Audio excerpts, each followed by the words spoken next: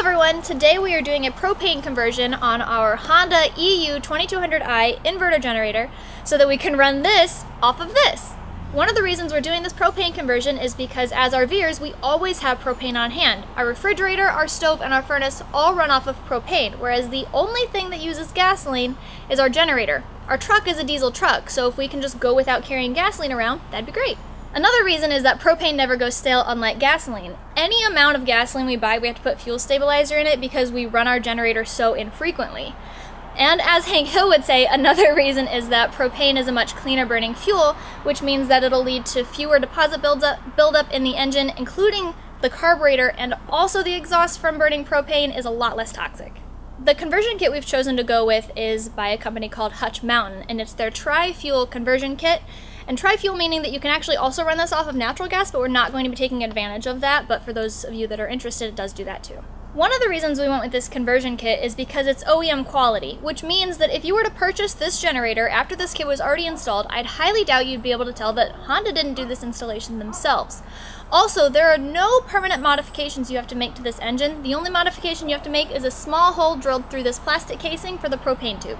Another reason is that you can switch between propane and gasoline at any point in time. You're not forced into sticking with only propane once you do the conversion. Also, everything you need to do this conversion is included in the kit that they send you, except for, you know, some tools like drills and wrenches and stuff.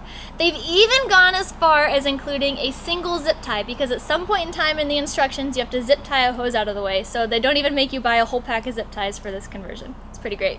If you're interested in doing this conversion on your Honda 2200 or Honda 2000 generator as well, we spoke with Hutch Mountain and were able to get you a $25 off promo code for your purchase of this conversion kit.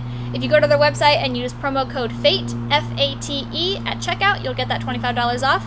But let's get into this conversion, except that David is going to take over. Me. Because it's his job, not mine. I'm going to go to the store. Yeah, get out of here. All right, so the tools that you'll need to do this conversion are a power drill, a pilot bit, a step drill bit, a Phillips screwdriver, a socket wrench with an 8mm bit, a 16mm or 5 8 wrench, two crescent wrenches, and a roll of tape. Now Hutch Mountain has included some excellent step-by-step -step instructions with pictures that I'm going to be following for this install. And the first step is to remove this front engine cover.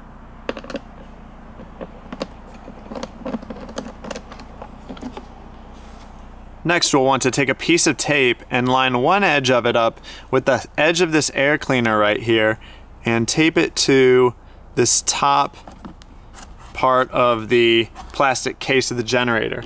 And we're doing that because the instructions tell us to take one of the enclosed washers and line up this inside circle edge right with this air cleaner and the tape just makes that easier and then have this outside ring about an eighth of an inch away from the edge of the case right here. So once we've got that set up, we'll want to take a marker and just mark the inside circle, or the center I mean, of that washer, just like that. Then we'll be drilling our pilot hole right into the center of that mark we made. And then using our step drill, we'll want to increase the size of this hole to 9 sixteenths of an inch.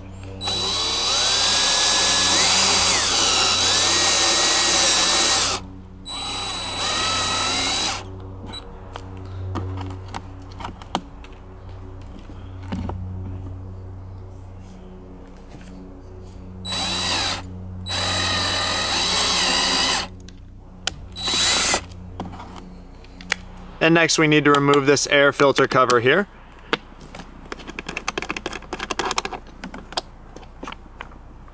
Then we need to pull out the pre-filter here.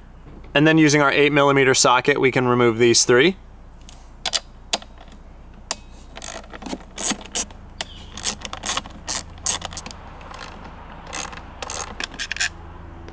And then this hose needs to be removed from the back here. So just pull that out. And then the entire air filter assembly can be removed. And now we're ready to install our propane fuel line. We need to route this fitting behind these gas lines here and then place one of the metal washers that were provided on that fitting and then route the fitting up through the hole that we just drilled and then place the second metal washer on top of that fitting. Then we need to place this elbow onto this fitting. So go ahead and thread it on by hand.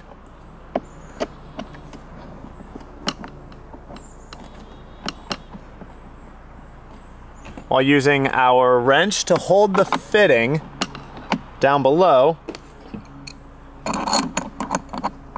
we can then tighten this elbow up with a crescent wrench.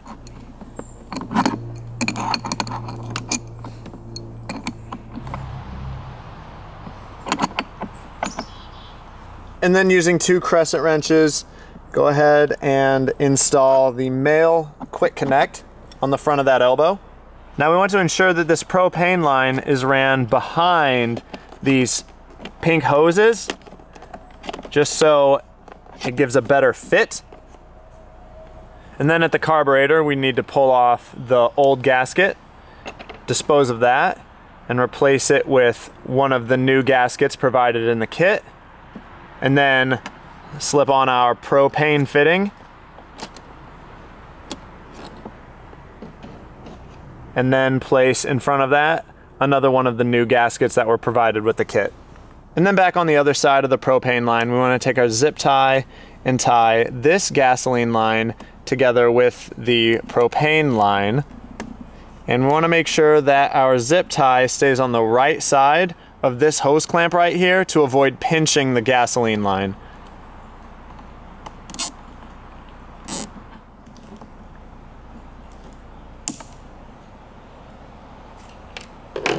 Next, using this small nylon spacer that was provided with the kit, we will take our air cleaner assembly We'll put this bolt back in through that hole and then that small nylon spacer will go on the back side of that bolt. And then we can replace our air cleaner assembly and it's easier if you kind of get this air breather right here back into place first. And then if we line these two holes up with the studs, we can then get this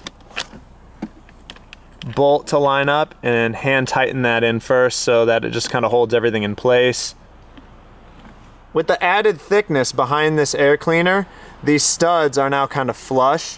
So you kind of have to push sort of hard to be able to get this nut on the left started.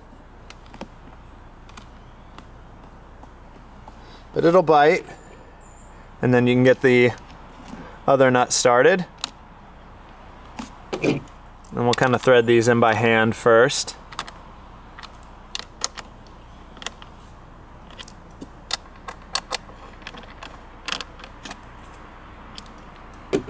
Then we can tighten these down.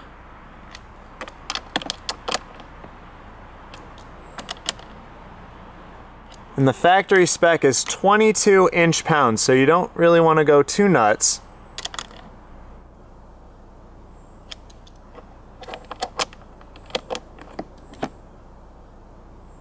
And once you're done, you'll see that the stud is only about halfway engaged through the threads of the nuts. And I spoke to Hutch Mountain and they said that's perfectly fine. It's not a problem at all, but if it makes you feel good, then you can apply Loctite to these so that, you know, they for sure won't vibrate loose, but I'm not worried about it at all. Then we can put our pre-filter back in. And then replace the air filter cover.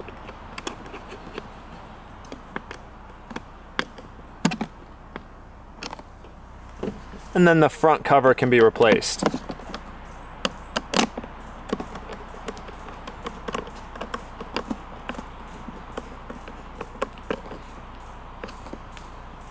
And then we need to peel off this factory sticker. You may want to use a hair dryer to loosen up the adhesive, but our generator's new enough that I think it'll just peel right off.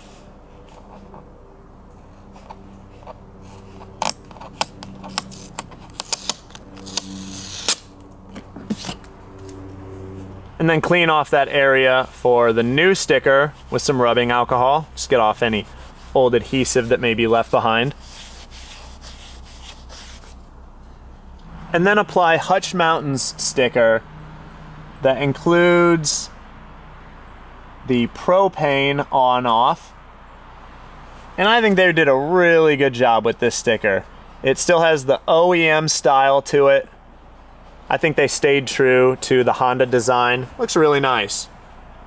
And that's it. The install is finished. Very easy and very straightforward. But before we can run this generator off propane, we need to burn out all of the residual gas that's still in the carburetor. And to do that, we'll first turn our generator on and choke it on so that we can fire it up, turn the choke off, and then switch the generator down to this uh, gasoline shutoff setting slash propane setting. And what that does is it cuts fuel from being supplied to the carburetor. Um, sorry, when I say fuel, I mean gasoline. It cuts gasoline from being supplied to the carburetor so that the engine will then continue to run until all of that gasoline is consumed and then it will die by running out of fuel. Then we can run it off of propane. So go ahead and turn it on first. Fire it up. And switch it down.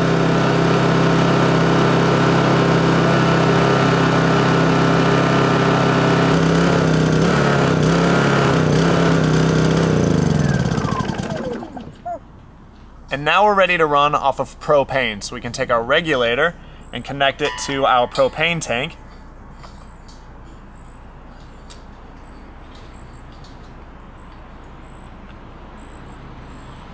And the directions state that the regulator needs to be pointing up like so.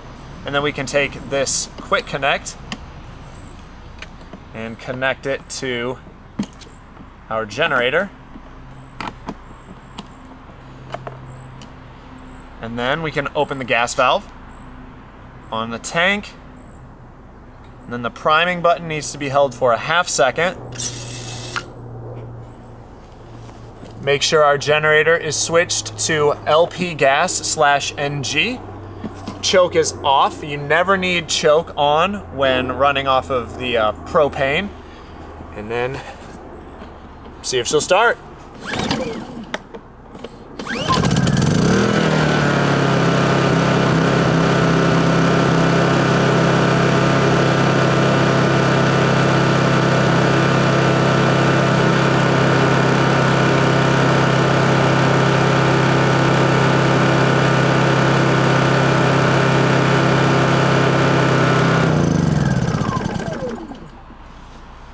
The instructions also recommend by, to shut off the generator when it's running off of propane to do exactly what I just did. Close the propane valve on the tank and then shut the generator off just to run out all the propane that's in the lines.